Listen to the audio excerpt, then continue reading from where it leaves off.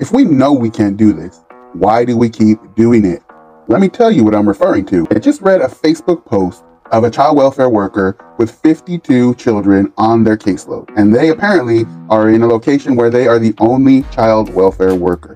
And to be a little more accurate, they're the only current child welfare worker. Apparently, the agency has positions, but they're not filled. So there's effectively only one child welfare worker in this agency, 52 children on their caseload. Now, I know there's some of you who might be able to say, 52, that's not anything. I had 106 or 221 or whatever. If you had more than 52 or close to that, put it in the comments. But regardless of the actual number, there's one thing that we know about a high caseload. Well, there's a few things. First of all, we know that there is not a social worker on the planet who can provide those children with the time, the care, and the attention to detail that it requires to manage them as a case on their caseload. Now, obviously, as many of you know, when this is the case, every single child on that caseload is at risk because they're not getting the attention that they need. Secondly, that organization is in a position where they have a very high degree of liability because they are knowingly giving someone a caseload that is unmanageable. Many of us are taught in school that you can't pour from an empty cup. You might be able to do this for the short term, but in the long term, it is completely unsustainable.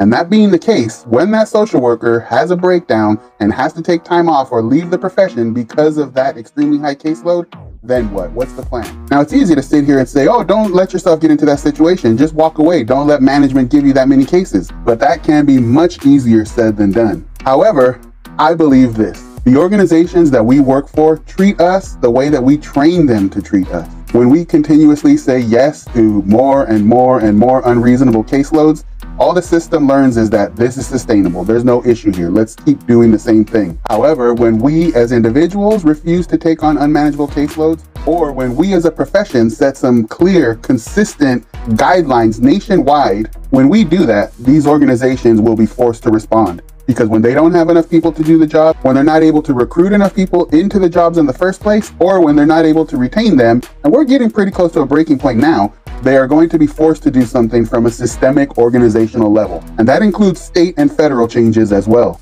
So all that being said, I know it's easier said than done. But if we don't do something now, who will suffer?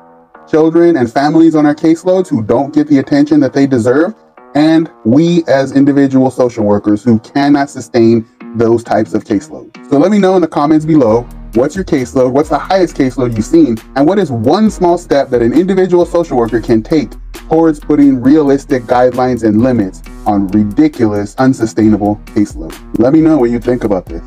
It's the same old story.